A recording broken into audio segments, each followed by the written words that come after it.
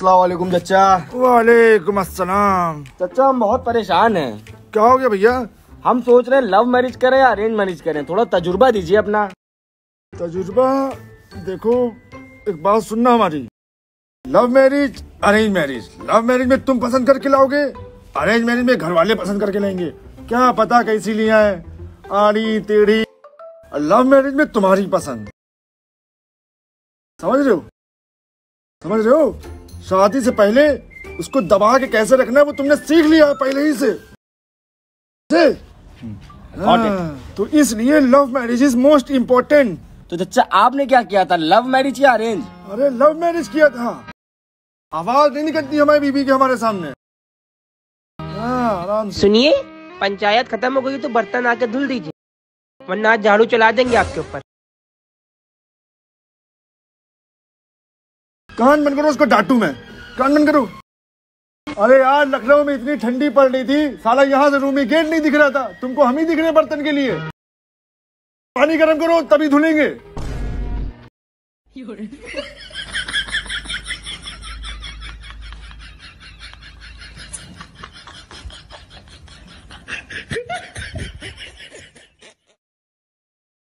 अरे तुम्हारी भाभी ना बहुत डांटती है यार। अरे तुम लोग पता नहीं कैसे रखते हो अपनी बीबियों को। हड़क के रखो। अपनी आवाज़ में हनक होनी चाहिए। दबा के रखो बीबियों को। कैसे समझाएँ? ज़िंदगी हराम है यार। समझ में नहीं आ रहा यार कैसे रखे हनक? अरे तुमको बताऊँ मैं कल हुआ क्या मेरे साथ? कल तुम्हारी भाभी घुटनों पे चल के आई मेरे पास। बहुत लाजवाब। तब फिर? फिर क्या हुआ? फिर? सरताज के अब्बू बाहर आइए। पीछे मारेंगे नहीं। हटाओ झाड़ू हटाओ झाड़ू हटाओ। झाड़ू हटाओ। हाथ में कुछ नहीं है।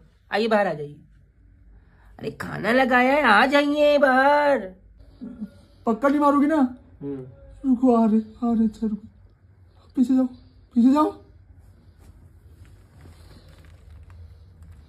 सरताज अब निकले जाओ अपने कुछ नहीं कुछ नहीं।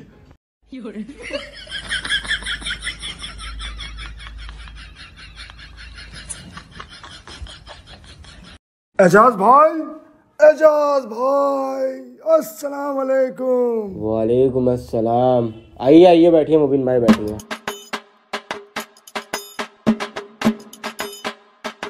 क्या हुआ एजाज भाई?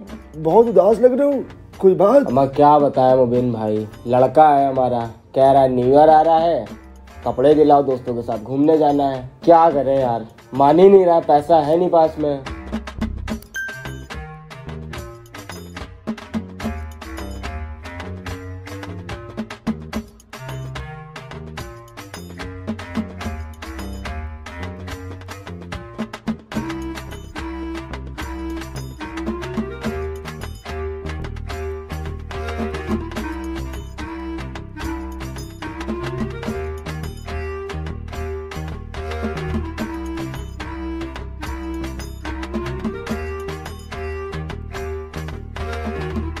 ये लो।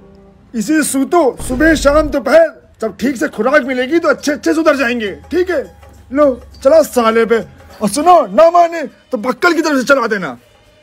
ऐसी सुताई करना कि छट्टी का दूध याद आ जाए। चलो।